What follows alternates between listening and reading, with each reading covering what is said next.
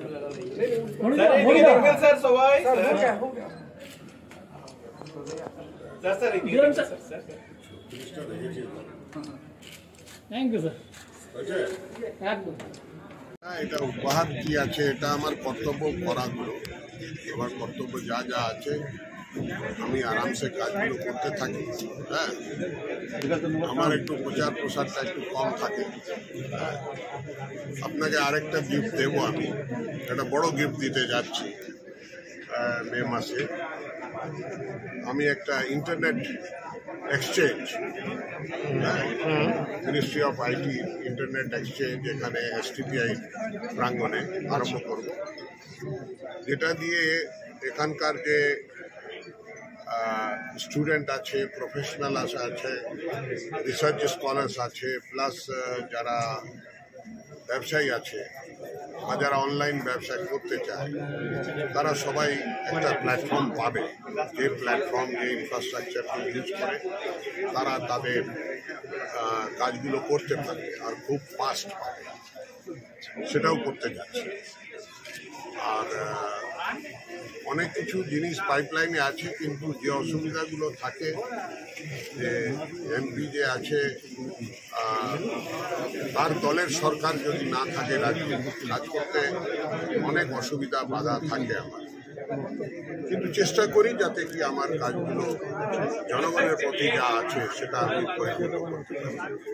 কি ধরনের বাধার শুধু নয় আমি যেমনি দু হাজার কুড়িতে কোভিডের জন্য এক কোটি ষাট লাখ টাকা দিলাম।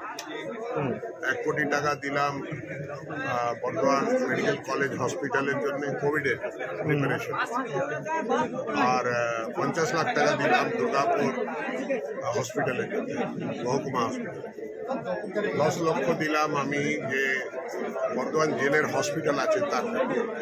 এখন পর্যন্ত এক পয়সা লাগানো হয়নি। রেলের ক্ষেত্রে ছবি এখানে উদ্ধার করা যায়নি এখানে মানে উচ্ছেদ একটা মানে ইয়ে নোটিশ রয়েছে ওই নোটিশ টোটিসের আলাদা কথা কিন্তু এটা প্রথমবার সারা ভারতবর্ষে যেমনি আপনারা দেখেছেন আমরা দেখেছি আপনারা হয়তো দেখেছেন কিনা জিটি রোডের। যে জিটি রোডের অবস্থা ছিল। আর আজকে ন্যাশনাল হাইওয়ে হয়েছে। আর ন্যাশনাল হাইওয়েতে কত ফাস্ট ট্রাভেলিং করতে পারে মানুষ?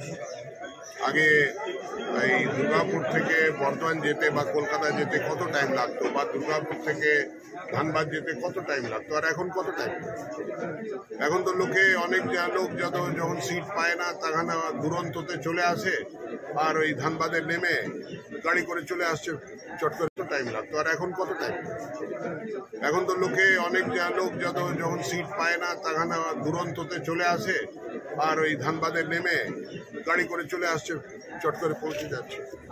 তো এই যে ইনফ্রাস্ট্রাকচার ডেভেলপমেন্ট দরকার, একটা নেশনকে বিল্ড করার জন্য, সেই কাজটা অটল বিহারী বাজপেয়ী সময়ে আরম্ভ হয়েছিল।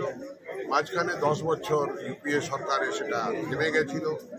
আবার যখন মোদিজি দু হাজার চোদ্দ সালে এসছেন, সেটাও আবার দ্রুতগতিতে হয়েছে।